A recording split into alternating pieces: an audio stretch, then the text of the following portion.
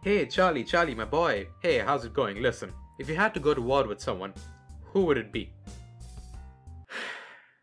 Where is this going? Okay, I've got a business proposition. How about this? You give me money, and I start a war with Spain. You know, you've had some good ideas in the past, but uh, what the fuck is wrong with you?